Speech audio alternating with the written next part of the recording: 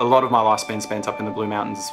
Funny thing, like even if I just get close to the rocks, I still get that sort of release of energy or adrenaline or whatever it is. It's been 20 years now with climbing and you know it's the, the act of climbing that I love.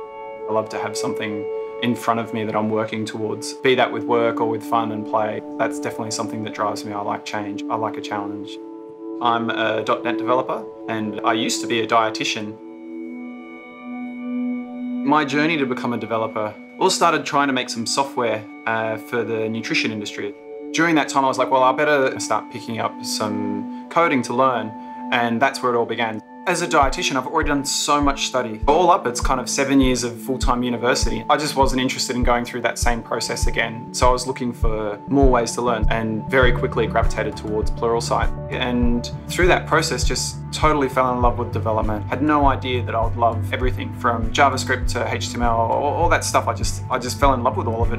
A huge part of that was Pluralsight. Being able to plug into the best content and learn and learn quickly in a visual format that I love to do was just gold. It was awesome.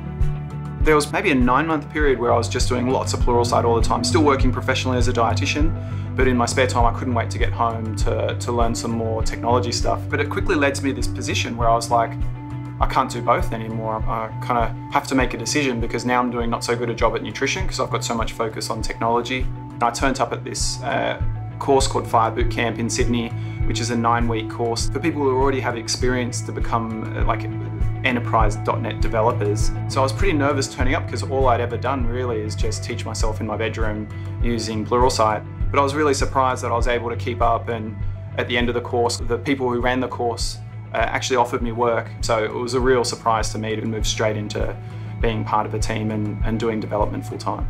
I was on this mission to become technically competent and you finally get there and then you start teaching other people that drive to always be learning the latest and greatest, working towards that next adventure. That's definitely been like a huge core of my life. Some years you look back and you think, oh yeah, what happened that year and you can't really piece it together but I think if you were to say 2014 for me I think for the rest of my life I'd be like oh that's the time where I made the jump across from being a dietitian to a developer.